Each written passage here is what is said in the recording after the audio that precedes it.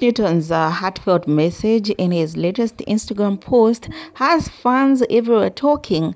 So, in the post, Luke Newton looks visibly sad as he warns his followers about fake accounts scamming people in his name.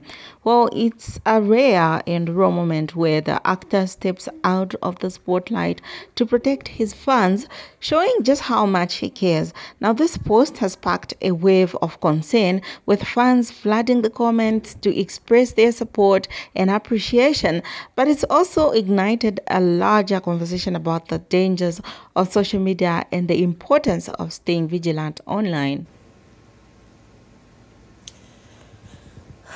Good morning. Um,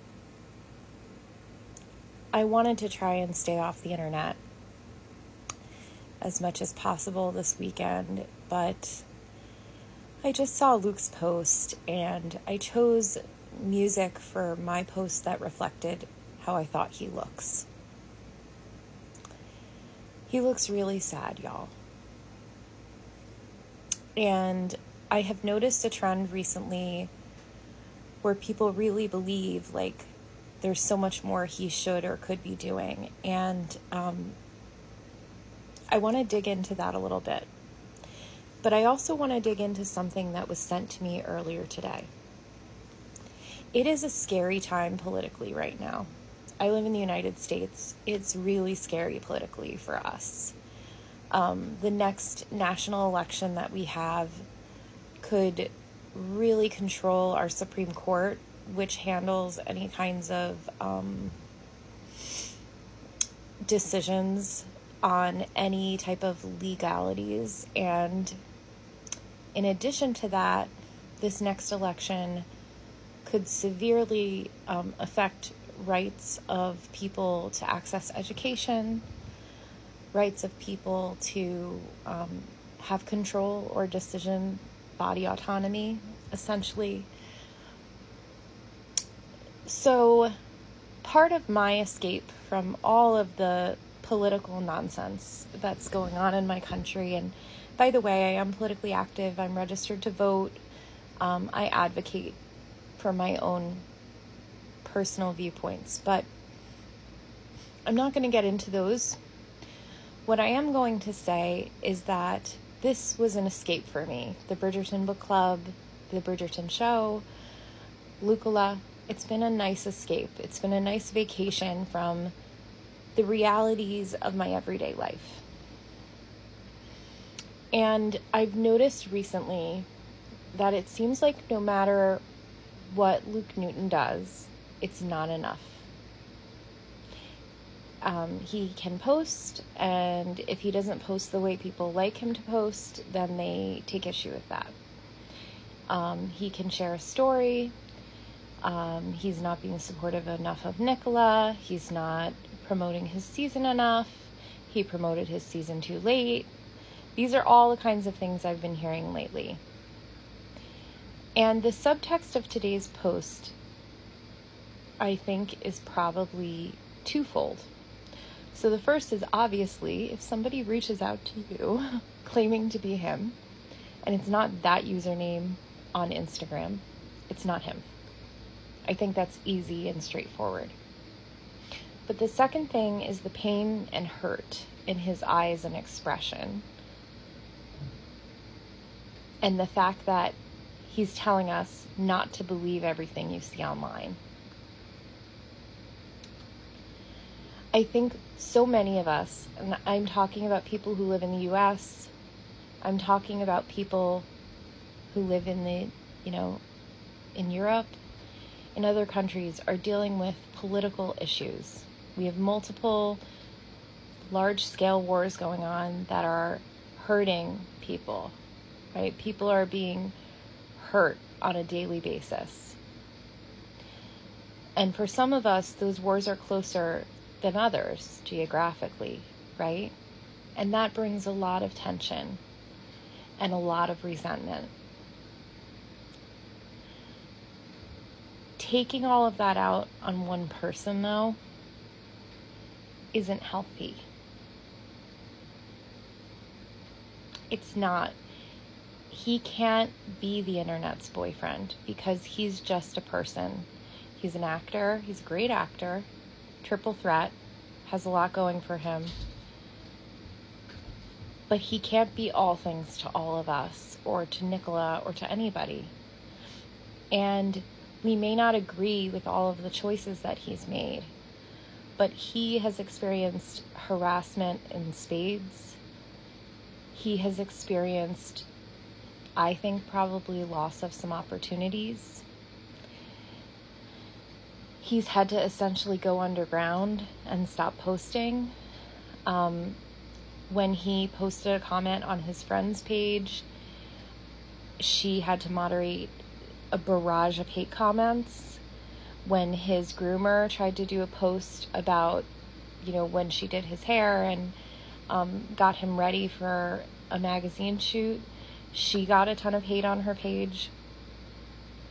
His family has been put on blast.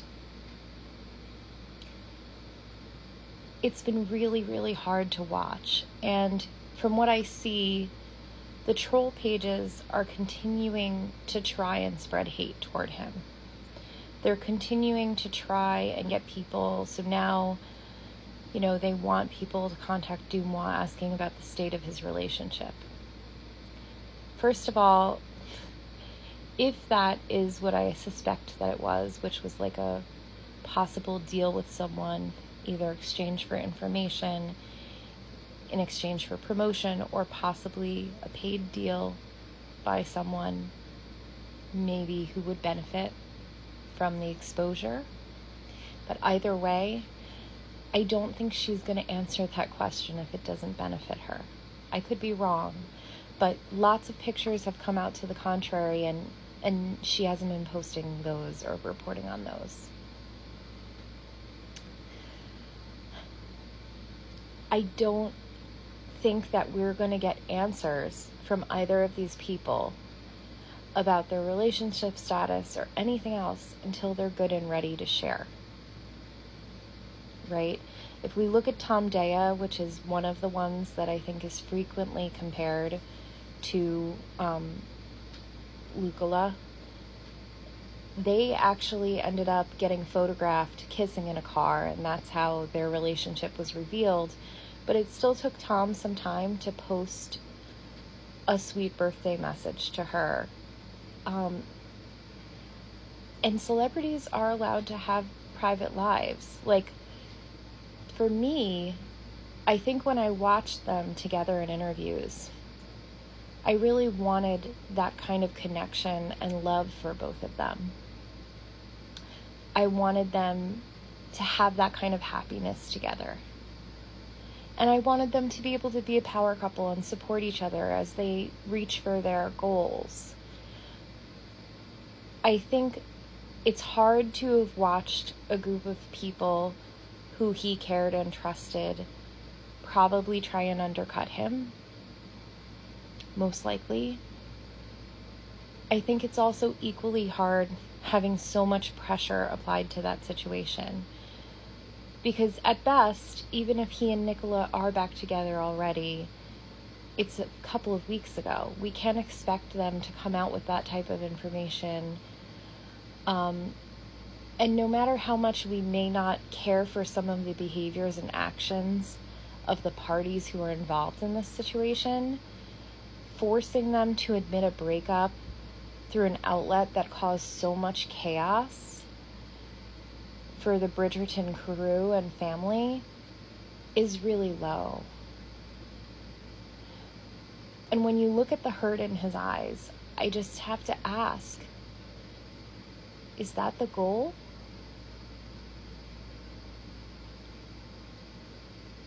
I I just I can't relate to that.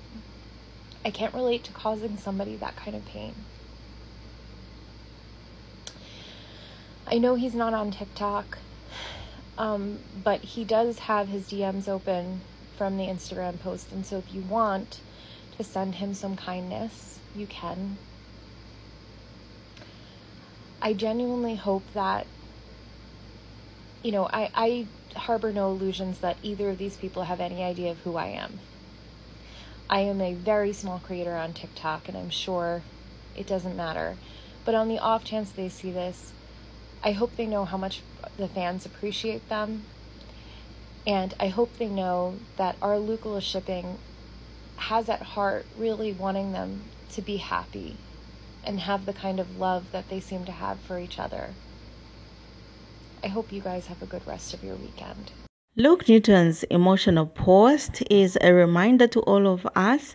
It is a reminder of the darker side of social media, a place where scammers can easily prey on fans trust and uh, admiration for their favorite celebrities. Of course, his decision to speak out not only shows his uh, dedication to his fan base, but also highlights the growing need for awareness around online safety. The fact that a TikTok creator like Caroline found this moment so relatable has resonated deeply with people, providing that even in the digital age, authenticity and concern for others can cut through the noise. As fans, it's very important that we remain cautious and informed, remembering that uh, behind every account and message, there is either a real person or someone with less than honorable intentions. So, Luke Newton's message is a wake up call to protect ourselves and each other in an increasingly connected world. Do go on, share your thoughts in the comment section below. What do you think about this?